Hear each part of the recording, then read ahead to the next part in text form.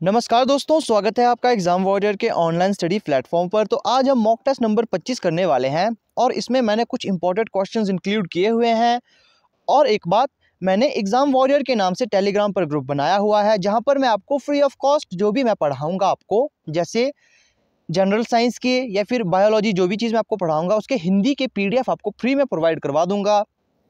चाहे वहाँ पर मैं आपको वर्ल्ड ज्योग्राफी पढ़ाऊँ, इंडियन ज्योग्राफी पढ़ाऊँ, हिस्ट्री पढ़वाऊँ, हर एक चीज़ के आपको वहाँ पर पीडीएफ बिल्कुल फ्री ऑफ़ कॉस्ट मिलने वाले हैं। तो लिंक मैं डिस्क्रिप्शन में दे दूँगा या फिर कमेंट सेक्शन में भी मैं लिंक दे दूँगा टेलीग्राम चैनल का या फिर टेलीग्राम ग्रुप का तो आपने उसे ज़रूर ज्वाइन करना है, क्योंकि वहाँ पर आपको काफ़ी इंटरेस्टिंग चीज़ें बिल्कुल फ्री ऑफ़ कॉस्ट में मिलने वाली है। काफ़ी अच्छा जो स्टडी मटेरियल है वो आपको मिलने वाला है। तो चलिए आज की वीडियो स्टार्ट करते हैं। सबसे पहला क्वेश्चन है नंबर सीरीज़ का। अब वीडियो को पॉज कर लो, अब ऐसे क्वेश्चन आपको आने चाहिए। क्योंकि आप हिमाचल प्रदेश पुलिस कांस्टेबल की तैयारी कर रहे हो तो इसमें नंबर सीरीज़ अच्छे लेवल का पूछा जाता है और ये थोड़ा मिड लेवल का है। मतलब आपको ये क्वेश्चन आना ही चाहिए तो वीडियो पॉज करो और कमेंट करके मुझे आंसर बताया करो। जब आप कमेंट करोगे तो ये आपके लिए बेहतर रहेगा। अगर आप कोई गलती करते हो तो जो चीज़ आप सीखोगे, वो आप भूलोगे नहीं।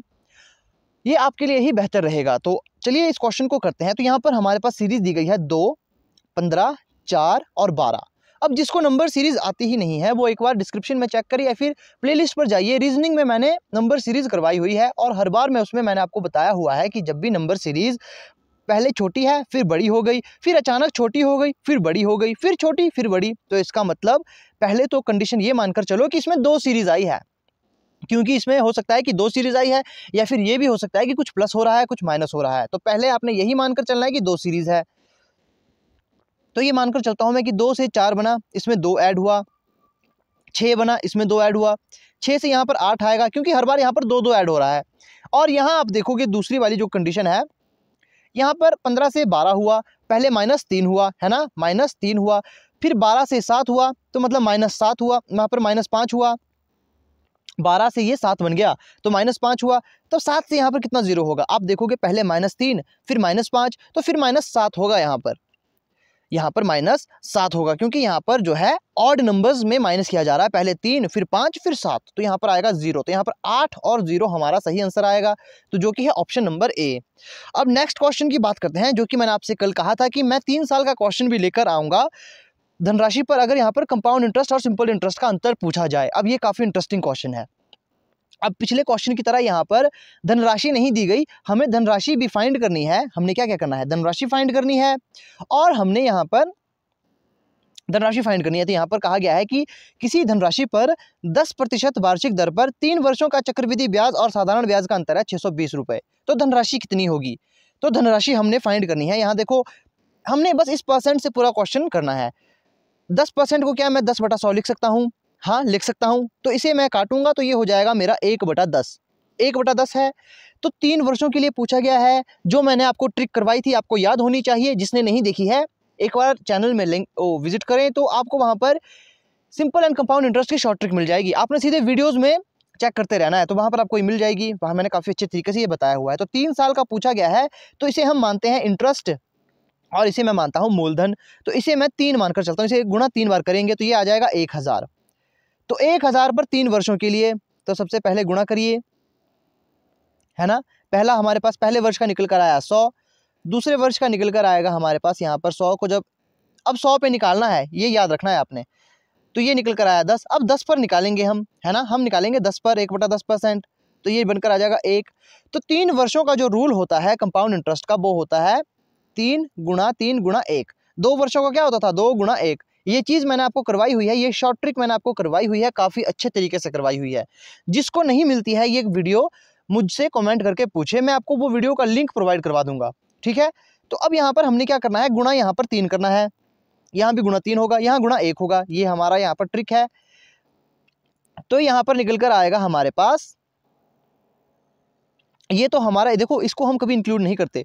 इसको इंक्लूड क्यों नहीं करते? क्योंकि पहले वर्ष का इंटरेस्ट सिंपल इंटरेस्ट और कंपाउंड इंटरेस्ट दोनों का बराबर निकल कर आता है।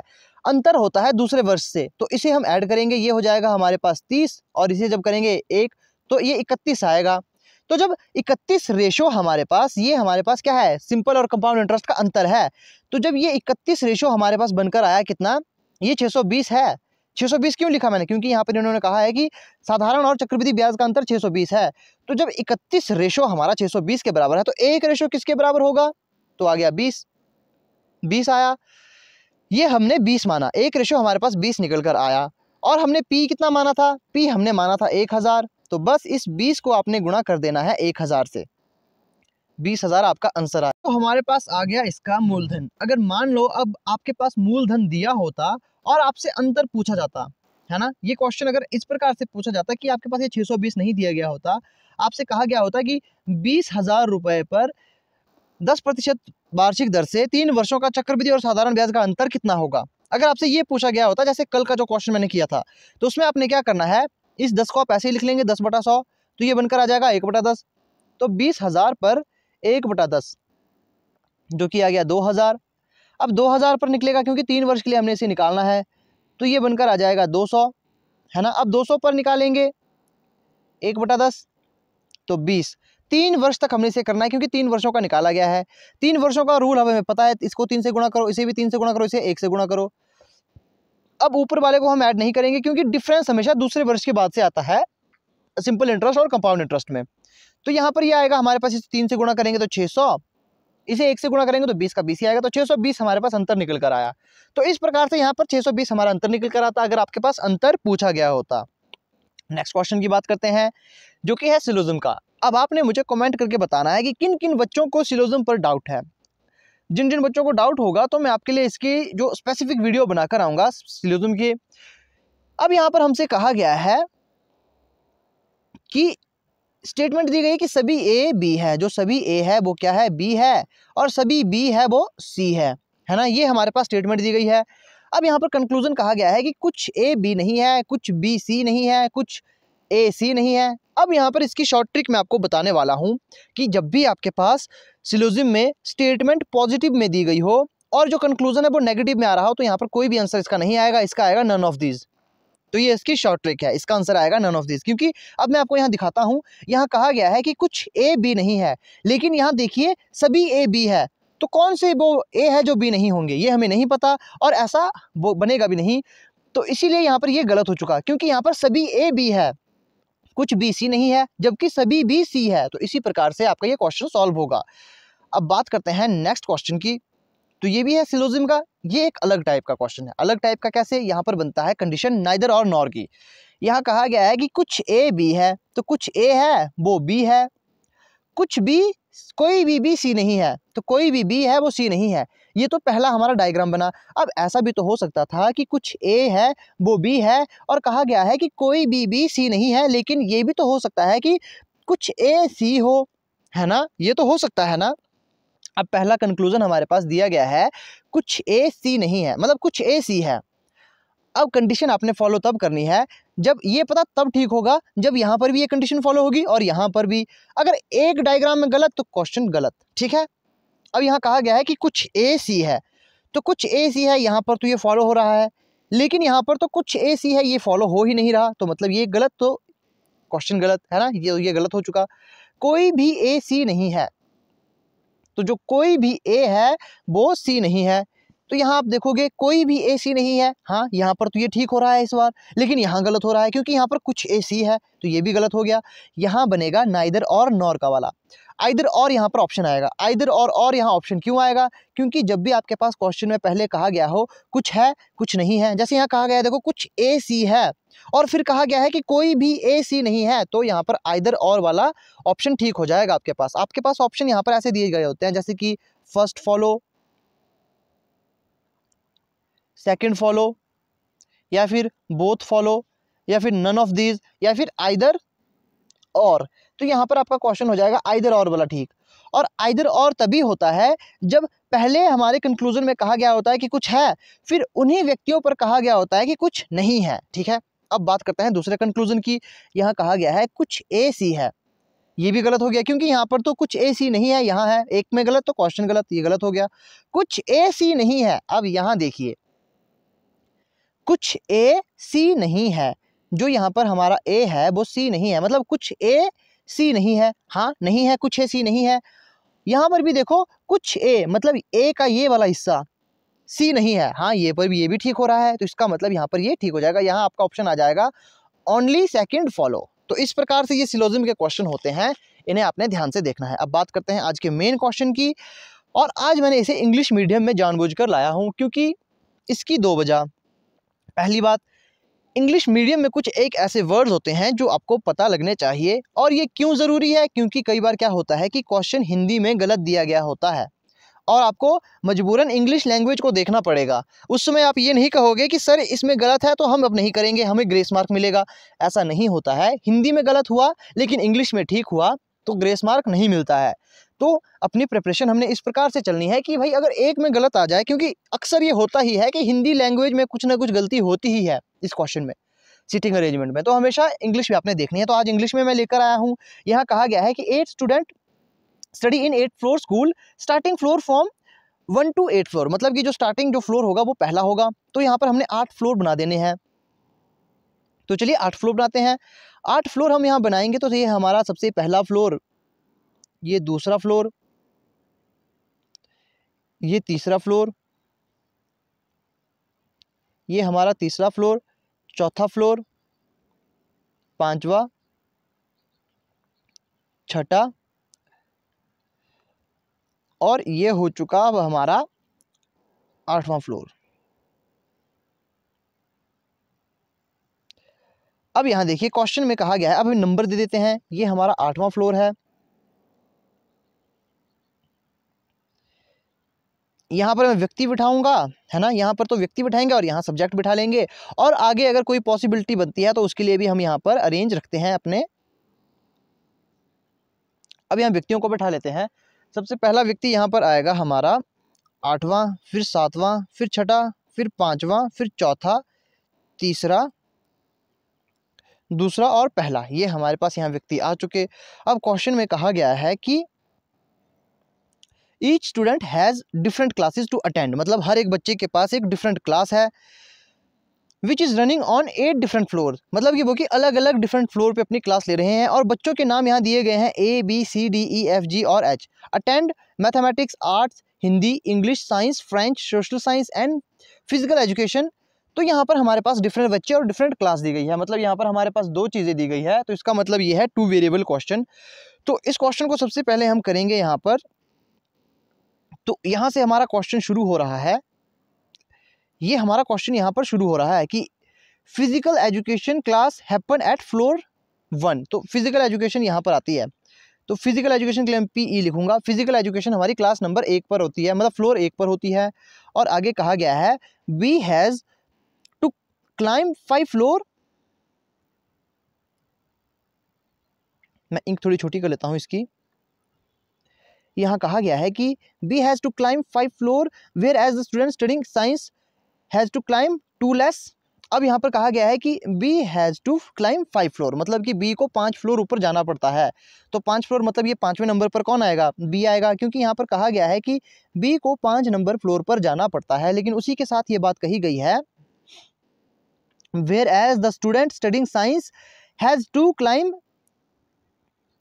two less मतलब कि ये यहाँ पर क्या कहा गया है? टू लेस किसके रिस्पेक्ट में कहा गया है? यहाँ पर कहा गया, देखो, सबसे पहले कहा था कि B has to climb five floor whereas the student studying science has to climb two less मतलब कि बी से दो कम फ्लोर मतलब दो नीचे, दो फ्लोर नीचे वो बच्चा पढ़ता है जो साइंस पढ़ता है मतलब दो पाँच में से दो माइनस करोगे, दो फ्लोर नीचे तो यहाँ पर आप देखोगे एक, दो, तीसरे फ्लोर पर कौन रहता है? तो तीसरे फ्लोर पर वो बच्चा रहता है जो कौन पढ़, जो क्या पढ़ता है? वो पढ़ता है साइंस है ना? ये यहाँ पर कहा गया है, ये इसका मतलब होता है। F does not study social science तो एफ़ जो है सोशल साइंस स्टडी नहीं करता। Climb the maximum floor whereas H climbs the least तो ये क्या कहा गया है? ये भी आपको मैं बता देता हूँ। यहाँ कहा गया है कि F who does not study social science ठीक है? क्लाइम्स द मैक्सिमम फ्लोर तो इसका मतलब एफ़ जो है वो सबसे ऊपर वाले फ्लोर पर रहता है। ये यहाँ पर कहा गया है। इसका बोलने का मतलब ये है तो एफ़ सबसे ऊपर वाले फ्लोर पर रहता है। आगे क्या कहा गया है? आगे एक और लाइन कही गई है whereas H climbs the least तो एच मतलब सबसे नीचे वाले फ्लोर पर रहता है तो लीस्ट यहाँ पर इसका मतलब होता है सबसे नीचे तो एच सबसे नीचे वाले फ्लोर पर रहता है।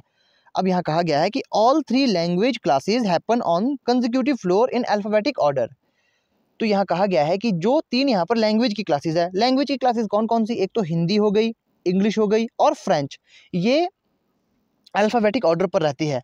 अब अल्फ़ाबेटिक ऑर्डर कौन सा, असेंडिंग या डिसेंडिंग, ये नहीं बताया गया, लेकिन ये कहा गया है कि अल्फ़ाबेटिक ऑर्डर पर रहती है। तो ठीक है, हमने ये भी मान लिया। क्योंकि अब देखो, अल्फ़ाबेटिक ऑर्डर कहा गया है तो ये भी हो सकता है कि सबसे पहले हमने, जैसे सबसे पहले यहाँ क्या आएगा? सबसे पहले यहाँ पर ई e है।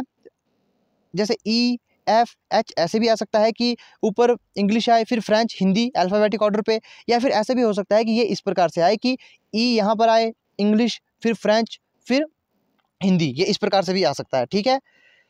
अब आगे कहा गया है, आगे आप क्वेश्चन पढ़ोगे। यहाँ कहा गया है कि C and D attend class on even floors तो सी और डी है, वो इवन फ्लोर पर रहते हैं तो इवन फ्लोर हमारे पास यहाँ पर कितने बचे हैं? तो तीन इवन फ्लोर है, एक तो छः, एक पाँच चार और एक दो तो यहाँ पर ये कहीं पर भी आ सकते हैं डी और सी तो ठीक है, अभी हमें ये पता नहीं, ये कहाँ आएँगे? आगे कहा गया है A study on floor number two but does not study mathematics तो ए जो है, वो फ्लोर नंबर दूसरे पर पढ़ता है। तो ए दूसरे फ्लोर पर पढ़ता है, लेकिन वो मैथमेटिक्स नहीं पढ़ता। ये हमने याद रखना है, ठीक है? और यहाँ पर भाई कही गई थी बात कि C and D attend class on even floor ठीक है? मतलब कि इवन फ्लोर यहाँ पर ये भी हो सकता है कि डी यहाँ आए यहाँ सी आए, और ये भी हो सकता है कि सी यहाँ आए और डी यहाँ आए। ये यहाँ पर कहने का मतलब है, क्योंकि इवन फ्लोर हमारे पास दो ही बचते हैं। अब आगे कहा गया है G studies four floor lower than E ये यहाँ पर क्वेश्चन देखिए। इस क्वेश्चन में कहा गया है कि G studies four floor lower than E who accompanies D till the six floor अब ये किसके बात कही गई है? तो आपको पता है हु का मतलब होता है जो। तो जो के रेस्पेक्ट में बात कही गई किसके लिए होती है? ठीक, पहले व्यक्ति के लिए ई का मतलब ये है। अब यहाँ भी कहा गया है कि G studies four floor lower मतलब कि जहाँ पर भी ई आएगा, उसके एक, दो, तीन, चौथे फ्लोर पर कौन आएगा? वो आएगा हमारा जी और यहाँ पर कहा गया है who accompanies D till the six floor मतलब कि अकम्पनीज का मतलब है वो एक तरह से वो उसका पड़ोसी है किसका? डी का, जो कि छठे फ्लोर पर है। तो यहाँ पर एक चीज़ हमें क्लियर हो चुकी है। वो क्लियर क्या हुई? कि हमारा डी छठे फ्लोर पर आएगा। डी हमारा कहाँ आएगा? डी आएगा हमारा छठे फ्लोर पर। ये क्वेश्चन में ही कही गई बात है। तो इसका मतलब सी हमारा चौथे फ्लोर पर आएगा और यहाँ हमारा आएगा ई e, ई e से कितने चार फ्लोर नीचे कौन है? जी है तो एक दो तीन चार। तो यहाँ पर आ जाएगा जी तो व्यक्ति हो चुके अरेंज हमारे सारे। तो व्यक्ति हमने सारे अरेंज कर दिए। अब यहाँ पर बात करते हैं हमने क्लास यहाँ पर देनी है। अब यहाँ कहा गया है C does not study either mathematics और आर्ट्स मतलब सी जो है वो ना तो मैथमेटिक्स पढ़ता है और ना ही आर्ट्स पढ़ता है। अब यहाँ कहा गया है कि हिंदी क्लास और आर ऑन सेवन फ्लोर तो सातवें फ्लोर पर कौन सी क्लास लग रही है? वो है हिंदी। और लैंग्वेज के रिस्पेक्ट में हमसे एक बात कही गई थी कि लैंग्वेज आएगी अपने अल्फ़ाबेटिक ऑर्डर पे। तो लैंग्वेज हमारी तीन है इंग्लिश लैंग्वेज कौन कौन सी है? लैंग्वेज तीन है हमारे पास। एक तो हमारे पास हिंदी है इंग्लिश है और फ्रेंच है। अब यहाँ पर अल्फ़ाबेटिक ऑर्डर पे ये आएगी। अब क्या यहाँ पर हिंदी यहाँ पर है? तो क्या यहाँ ऊपर अब हमारी इंग्लिश और फ्रेंच आ सकती है। फ्रेंच और इंग्लिश ऊपर आ सकती है। नहीं, इसका मतलब ये नीचे आएगी तो फ्रेंच यहाँ आएगी। पहले ई आएगा, क्योंकि पहले ई आता है तो इंग्लिश पहले आएगी, फिर यहाँ फ्रेंच आएगा। क्योंकि अल्फ़ाबेटिक ऑर्डर पर चल रहे हैं मतलब पहले ई आया तो फिर फ्रेंच, फिर हिंदी। अब ये ऊपर से नीचे की ओर क्यों नहीं आया, जो मैं पहले कह रहा था, क्योंकि यहाँ तो जगह ही नहीं बचती। तो इसीलिए हमने ये वाला ऑर्डर फॉलो किया। अब यहाँ पर हमारे पास व्यक्ति कौन कौन से बच रहे हैं? तो ये हमारे पास व्यक्ति बच रहे हैं और कुछ हमारे पास यहाँ टॉपिक बच रहे हैं। अब इसे फिर से पढ़ते हैं। हमने कहाँ पर कुछ क्वेश्चन छोड़ा तो फ़िज़िकल एजुकेशन हमने पढ़ा लिया, ठीक है? We have climb five floor whereas a student studying science has to climb two less ये भी हमने कर लिया। F who does not study social science तो एफ़ के पास सोशल साइंस नहीं आएगी। एफ़ के पास सोशल साइंस नहीं आएगी मतलब social science S S T मैं यहाँ पर कट कर देता हूँ। सोशल साइंस यहाँ नहीं आएगी। तो बची कौन कौन सी लैंग्वेजेज यहाँ पे? तो एक तो बची यहाँ पर हमारे पास सोशल साइंस अगर ये नहीं पढ़ेगा तो एक तो बची हमारे पास साइंस ये भी हो चुका, एक तो बचा हमारे पास आर्ट्स, एक बचा मैथमेटिक्स, है ना? ये हमारे पास कुछ टॉपिक बच रहे हैं, या फिर हो सकता है इसके पास आए। तो ये हमारे यहाँ पर फच रही है कंक्लूजन या तो यहाँ पर क्या आएगा? आर्ट्स आएगा, या तो यहाँ पर मैथमेटिक्स आएगा। ये हमें फिक्स नहीं है। अब आगे पढ़ते हैं, यहाँ क्या कहा गया है? यहाँ कहा गया है कि ये हमने कर दिया, इसे हम कट कर देंगे। F does not social science ये भी हमने कर दिया।